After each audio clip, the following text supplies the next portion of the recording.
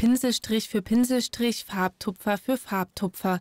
So zaubert Toni Gerhardt in seiner Freizeit ein Acrylgemälde nach dem nächsten.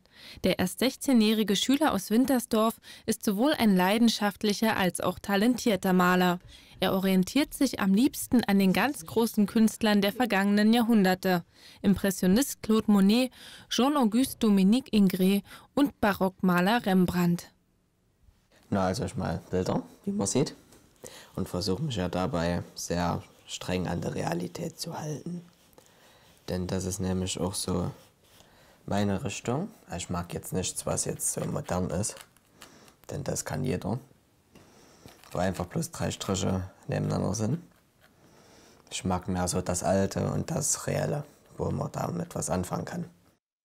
Toni Gerhardt hat die großen Meister kopiert sowie mit eigenen Details versehen. Und damit auch die Öffentlichkeit von seinem Talent erfährt, hat er seine Werke vor kurzem ausgestellt. Dabei waren seine Gemälde recht gefragt, so sagt der junge Maler, dass er in den vier Wochen 23 seiner Kunstwerke verkauft hat. Ein erster Erfolg, auf den er stolz sein kann. Ja, da habe ich mich schon gefreut.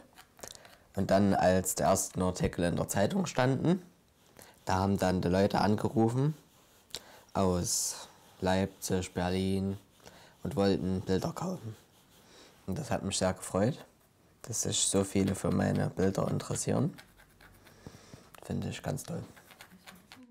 Seit der Ausstellung ist Toni Gerhardt ein gefragter Auftragsmaler. So zahlt sich schon jetzt seine frühe Begeisterung für das Zeichnen und die Malerei aus.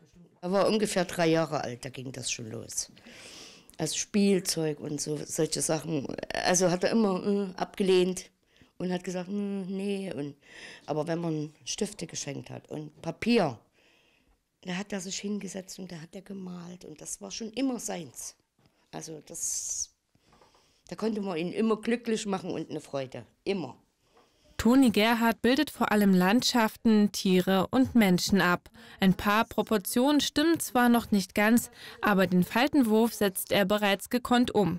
Trotz seines großen Talents sieht seine Kunstlehrerin noch Verbesserungspotenzial.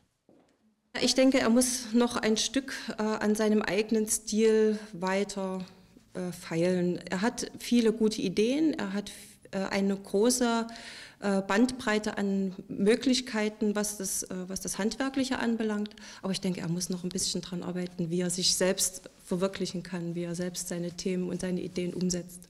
Ich bin noch in der Experimentierphase sozusagen. Na, das wird noch kommen, denke ich mal. Oder hoffe ich mal. Aber das wird noch dauern, ehe ich mich da so entwickle und mich festlege. In ein paar Jahren wird der erst 16-Jährige seinen eigenen Malstil finden. Und wenn er sich darauf festlegt, sind seine Kunden wohl nicht mehr stolz, einen gefälschten Rembrandt zu haben, sondern einen echten Gerhard.